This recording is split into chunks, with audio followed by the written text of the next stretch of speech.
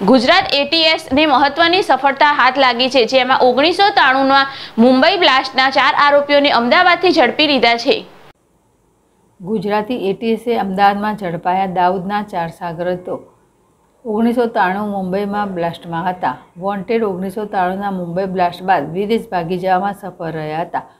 ઓગણત્રીસ વર્ષથી હતા ફરાર. અત્યાર સુધીની એટીએસની સૌથી મોટી સફળતા ગુજરાત એટીએસને વધુ એક સફળતા મળી છે. ગુજરાત એટીએસે ઓગણીસો ત્રાણુંના મુંબઈ બ્લાસ્ટના વોન્ટેડ દાઉદ નજીકના ત્રણ ચાર સાગરીતોને ધરપકડ અમદાવાદના સરદાર નગરમાંથી કરી છે. એટીએસે અમદાવાદમાંથી ચાર આરોપીની ધરપકડ કરી છે. આ ચારેય સાગરીતો બ્લાસ્ટ બાદ વિદેશ ભાગી જવામાં સફળ રહ્યા હતા અને નકલી પાસપોર્ટ પર અમદાવાદ આવ્યા હતા. એટીએસે અબુ બકર, યુસુફ બટકા શોએબ બાબા અને સૈયદ કુરેશની ધરપકડ કરી છે. વધુમાં જાણીએ તો એજન્સીઓને ગુમરાહ કરવા માટે તેઓ સતત પોતાના સરનામા બદલતા રહેતા આ લોકોના પાસપોર્ટ પર નામ સરનામાથી લઈને બધું જ નકલી હતું આ લોકોની પહેલાં ખરાઈ કરવામાં આવી જ્યારે બાદ જાણ થઈ કે આ લોકો ઓગણીસો ત્રાણું બ્લાસ્ટના આરોપીઓ જ છે ઉલ્લેખનીય છે કે બાર માર્ચ ઓગણીસો ત્રાણુંના રોજ મુંબઈમાં બ્લાસ્ટ થયો હતો વર્ષ ઓગણીસો ત્રાણું અને તારીખ બાર માર્ચના રોજ મુંબઈમાં અનુક્રમે એક બે નહીં પરંતુ બાર સિરિયલ બોમ્બ બ્લાસ્ટથી મુંબઈ હલબલી ઉઠ્યું હતું આ બોમ્બ બ્લાસ્ટમાં અંદાજે બસો પચાસથી વધુ લોકોએ પોતાનો જીવ ગુમાવ્યો હતો અને આઠસોથી વધારે લોકો ગંભીર રીતે ઇજાગ્રસ્ત થયા હતા એટીએસ પો અધિક્ષક કે કે પટેલને મરેલ બાતમીના આધારે નાયબ પોલીસ અધિક્ષક બી એચ ચાવડા અને બીપી રોજિયા અને પીઆઈ વીબી પટેલની આગેવાની હેઠળ આ આખું ઓપરેશન પાર પાડવામાં આવ્યું હતું અને એટીએસને મોટી સફળતા હાથ લાગતા છેલ્લા ઓગણત્રીસ વર્ષથી ફરાર બોમ્બ બ્લાસ્ટના ચાર આરોપીઓને ઝડપી પાડવામાં આવ્યા છે સંજીવ રાજપૂત જેડેશ ટીવી અમદાવાદ तो 12 मार्च 1993 के दिन मुंबई शहर में लगभग 12 जगहों पे विस्फोट हुए सीरियल बॉम्ब ब्लास्ट हुए लगभग 250 से ज़्यादा लोगों की जान गई और 700 से ऊपर लोग इंजर्ड हुए। ये एक बहुत ही दहशत वाला दिन था और उसका, उसकी इन्वेस्टिगेशन महाराष्ट्र पुलिस की एसटीएफ और बाद में सीबीआई ने इन्वेस्टिगेशन की। लगभग 190 लोगों को इन्वेस्टिगेशन कंप्लीट होने के बाद चार्जशीट किया गया और बहुत से लोग इसमें ऐसे थे जो अभी तक हमारे सीबीआई के पकड़ में या इन्वेस्टिगेटिंग एजेंसी के पकड़ में नहीं थे। बहुत लोग एब्सकॉन्डर इस केस में रहे थे, जो मिडिल ईस्ट की कंट्रीज़ में और बाकी सब देशों में चले गए।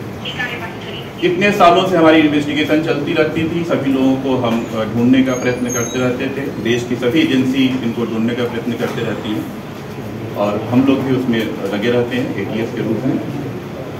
हमें माहिती मिली, हमारी टीम को माहिती मिली, जो के एन पटेल साहब की टीम है और इनके साथ हमारी डी रोजिया साहब, हमारे डी चावड़ा साहब और हमारे P S I P I B B Patel, सभी लोगों की टीम जो ये सब ऐसे केसों को डील करती है, इनको माहिती मिली कि चार लोग कुछ ऐसे सकमंद रूप से हमारे एरिया में पे कर रहे हैं। उस माहिती के आधार पे सरदार नगर एरिया से हम लोगों ने चार लोगों को पिकअप किया। उनके पास पासपोर्ट वगैरह, हमारी प्राथमिक तपास में लगा कि ये पासपोर्ट फेक है। और फ्रॉडलेंट तरीके से फोर्स डॉक्यूमेंट के आधार पे बनाया गया पासपोर्ट है।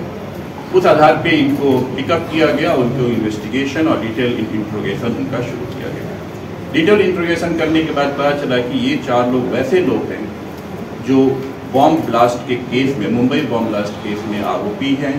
इनके ऊपर रेड कॉर्नर नोटिस भी इशू किया गया है और इनके प्रोक्लेम्ड ऑफेंडर के रूप में इसको सीबीआई की कोर्ट ने इनको प्रोक्लेम्ड ऑफेंडर किया गया है। इन चारों को जब इंट्रोगेट किया गया तो काफ़ी कुछ डिटेल्स 93 ब्लास्ट के बारे में सामने आई और उनके बेसिस पे हमने उनको अरेस्ट किया।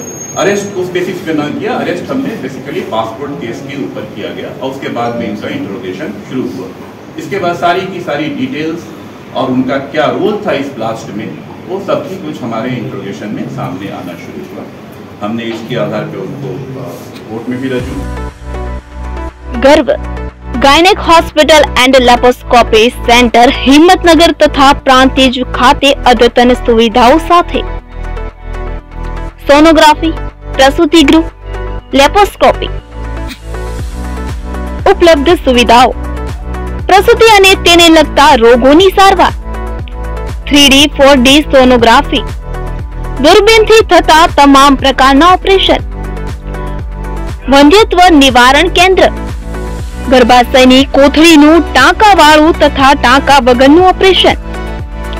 કેન્સર નિદાન કેન્દ્ર. કુટુંબ નિયોજન કેન્દ્ર. ગર્ભાશયના રોગોનું નિદાન અને સારવાર. આઈયુઆઈની સુવિધા.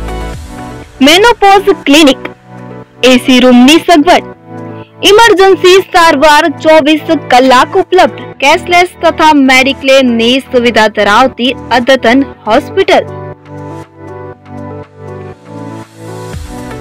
doctor Dhruvil D Patel MD DGO laparoscopic surgeon doctor Divya D Patel MB DGO sonography specialist સ્થળ ત્રીજો માળ તુલસી બિઝનેસ સેન્ટર એક સહકારી જીન રોડ હિંમતનગર સમય સવારે દસ થી એક સાંજે ચાર થી છ રવિવારે ફક્ત ઇમરજન્સી